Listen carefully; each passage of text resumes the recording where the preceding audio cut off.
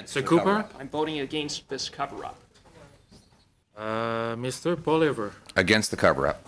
and Ms. Ramsey. I'm strongly voting opposed, and I'm shocked at the behavior of my colleagues. Despicable. It's disgusting. So, So, that being You said, should be ashamed of your, that being said, the motion is adopted. Meeting is adjourned.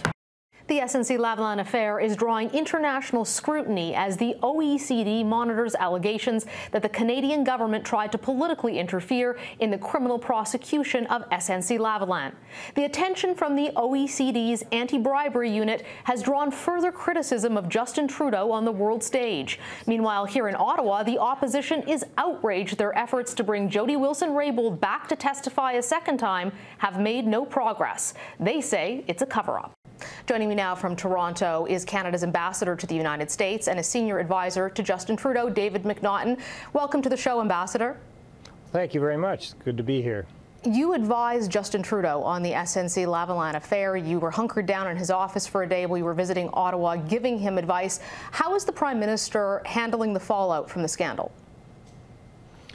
Well, I think, you know, to begin with, uh, I was in Ottawa to talk to the Prime Minister about a variety of things, including um, the things that uh, are really important in terms of my primary function, which is to deal with Canada's most important economic relationship, and that is with the United States. So we talked about 232 tariffs and uh, the approval of the new NAFTA agreement and a variety of things. And obviously, because of my relationship with uh, the prime minister, uh, you know, he, he sought my advice on, on other matters also, and uh, you know, I'm uh, happy to do so. But uh, you know, I, I am really focused on on trying to get rid of 232 tariffs and and and to do the things that I need to do in terms of improving our relationship with the United States. And I do want to get to those tariffs later on, but he gave a press conference later that week after you advised him. Do you think he should have apologized? You know, uh, I think the prime minister uh, seeks advice from from a variety of people, and um, and I was quite happy to give my advice, and it was private advice, and it will stay that way. And then he, uh, as I found uh, frequently, makes up his own mind, makes his own decisions, and uh, and uh, he is. he, he did what he did, and I think we're, you know, we've got a budget coming up next week. There are an awful lot of things on the agenda. Uh, and uh, I know he's pretty focused on all those things. In 2015, you were one of the Liberal campaign co chairs. The campaign was about transparency, about doing politics differently. Many are looking at what happened here and the access the powerful have to the Prime Minister's office and the allegations being made, and they're questioning if this is the stereotypical old style Liberal politics. What do you say to voters who are heading to the polls and say, this isn't what we voted for? Well, I, I'm I'm not saying anything to voters. Um, you know, I have uh, in my position I have to be uh, nonpartisan and have said I was going to be and I will be. Um, but I should also say that uh, you know one of the things that uh, uh, you know was campaigned on when I was in that position was also uh, improving our relationship with the United States, securing our access to the U.S. market, expanding opportunities for Canadian business and Canadians to do business abroad. And, and I think, uh, you know, we've worked really hard at that. And I know for sure I have. Uh, the last two years have been as uh, challenging a time physically, emotionally, uh, in every other way in terms of trying to make sure um, that, that Canadians had continued to have opportunities to uh, have open and free access to our largest uh, market. 72% of our exports go to the United States. And so that's really been the focus of my attention, and, and I'm quite proud of what we've done. Well, let's turn our attention to that. When it comes to USMCA, uh, some of the Democrats have been suggesting that they are not at all in favor of it and they may not sign on to it. What reassurances do you have that USMCA is actually going to happen? Well, you know, in the U.S. system, there's never any, uh, particularly these days, there's never any guarantee about what outcomes are going to come out of Washington. But I, am I'm, I'm quite confident that that it will pass through eventually, particularly if the Americans remove the 232 tariffs on Canada and Mexico.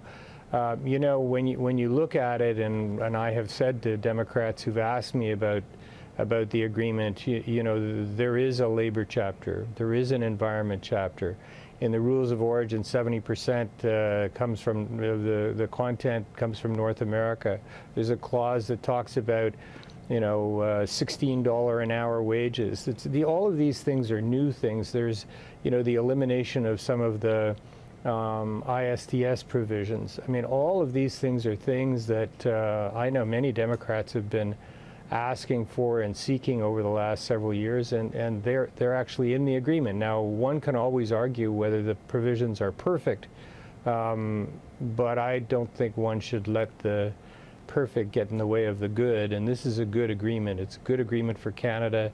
Uh, and I think uh, I think the I think the Americans will come to the realization when it when it actually comes to a vote that it's a good deal for them too. And you know, one, a lot of the people that you hear talking about how difficult it is uh, going to be to get it through the U.S. Congress are um, people that are selling their services to business, saying that they would like to help get it through. And you know, having been in that business once before in my life, I, I, I, I sometimes take all of those comments with a grain of salt. I'm confident that when it comes to a vote, um, you know, the U.S. Congress will pass it. Uh, that's up to them to do, but I think, uh, you know, when asked uh, by members of Congress, I've told them what I think are the benefits of the agreement, and it's a good deal. But, Ambassador, back in February, you said that you were convinced the tariffs would be lifted on steel and aluminum in the next few weeks. Um, you were pretty confident about that as well. That hasn't happened. Do you have any indication that those tariffs on steel and aluminum are drawing to an end? I, I continue to be confident that they will be removed within the next few weeks. I, my, my position hasn't changed. Why are you Um, confident about it's that? just the, the few weeks of.